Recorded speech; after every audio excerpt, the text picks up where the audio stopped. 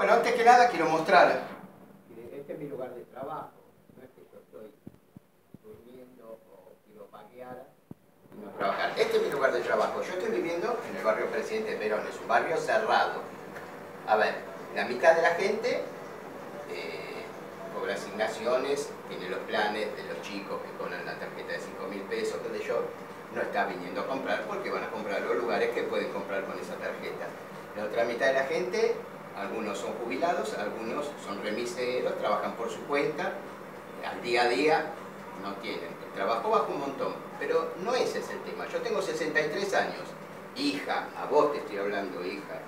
Yo tengo 63 años y tengo un hijo, que es tu hermano también, que tiene 8 años, está enfermo de los bronquios, que ustedes lo saben bien porque ya hace 7 años atrás, cuando casi se me muere en el hospital de Verazategui, porque vivía donde, donde estaba yo y no podía, ahí fue donde se me enfermó por los caprichos que siguieron después. Bueno, ¿qué estoy pidiendo yo? Yo no pido nada, yo pido a ver si me pueden dar algo de lo mío, si me pueden asistir, si me pueden ayudar.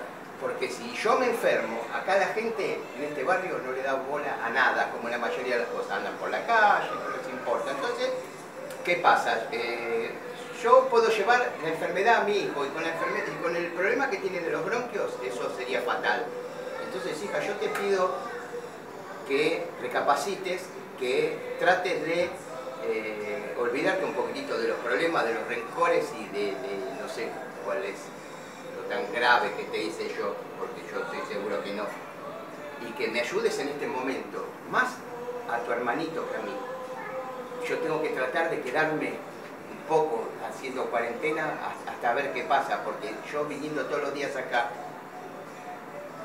corro mucho riesgo. Y si yo no vengo todos los días acá, no come mi familia. Entonces, te vuelvo a repetir, a toda la gente que alguna vez eh, me ayudó, vos, Beto Castela, eh, eh, Real, eh, Chico Par, toda la gente que alguna vez este, me dio una mano a usted, doctor Mauricio de Alessandro, que también me ayudó. Eh, necesito que le hagan llegar este mensaje a mi hija, que lo vea. A vos también, intendente de Loma, Martín Zarralde, que jamás me diste bolilla, nunca me atendiste, nada.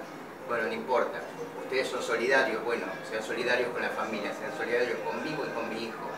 Por favor. Yo todos los días voy a seguir haciendo un video y pidiendo. Espero que un día no tenga que hacer un video diciendo contagié a mi hijo o me enfermé por no poder hacer la cuarentena en mi casa. Ojalá Dios quiera que no. Es lo que te pido, pero respuesta. Gracias.